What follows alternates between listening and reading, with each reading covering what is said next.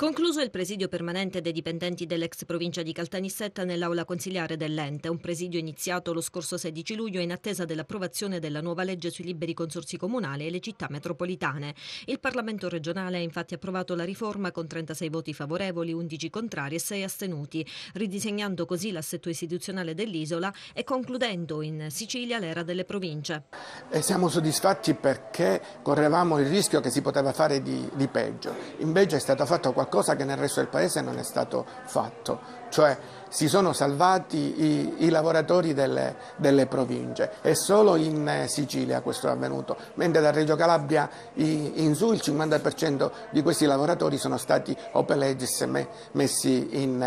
eh, in mobilità. Abbi abbiamo vinto una battaglia, non abbiamo vinto eh, la guerra che è relativa anche ai finanziamenti e a quello che sarà il nostro futuro che dipenderà comunque dal proseguo della, della legge. Non appena poi eh, riprenderà anche l'attività della, dell'Assemblea regionale e continueremo su quella che dovrà essere l'applicazione della norma, perché ora il problema è applicazione della norma. Noi desideriamo avere più servizi da svolgere nel territorio. Questo però, eh, dobbiamo essere sinceri, significa avere più servizi, più lavoro e quindi più risorse finanziarie. Da oggi in poi il nostro problema sarà quello anche finanziario ed economico perché non, eh, i livelli occupazionali non sappiamo fino a che punto saranno garantiti, così come anche dal punto di vista contabile la, mh, tutto l'apparato eh, finanziario ver come verrà eh, stabilito e garantito per questi lavoratori, per le società partecipate che lavorano ancora nella provincia e che